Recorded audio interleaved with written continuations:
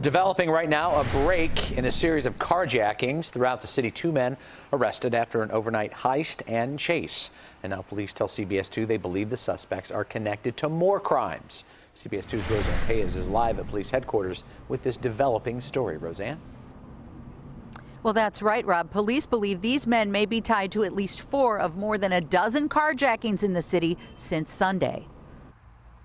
Surveillance video from the 800 block of North Racine shows an SUV pulling over, an alleged carjacker hopping out.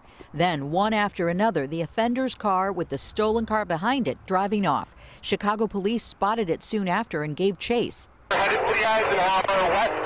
That's where the suspects crashed, hit a wall, and bolted on foot before being caught.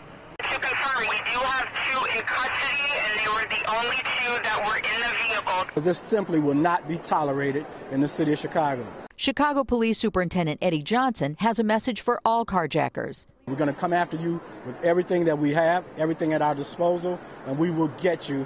Police say the two suspects are believed to be connected to three other carjackings this past week on the 1900 block of West Augusta, 400 block of North Aberdeen, and 2500 block of West Wellington. Although the suspects are adults, Johnson says many are juveniles who often get a slap on the wrist. It's always frustrating when we arrest the individuals responsible for these crimes and then we see them back out on the street days or weeks later. Cook County State's Attorney Kim Foxx says prosecutors also must make sure their cases are strong.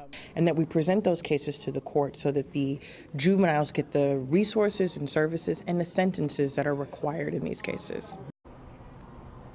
Now, coming up at 6, we'll hear from that latest victim who helped ID the suspects in a lineup. And we'll also hear from the police superintendent what he recommends we can all do to avoid becoming the next victim.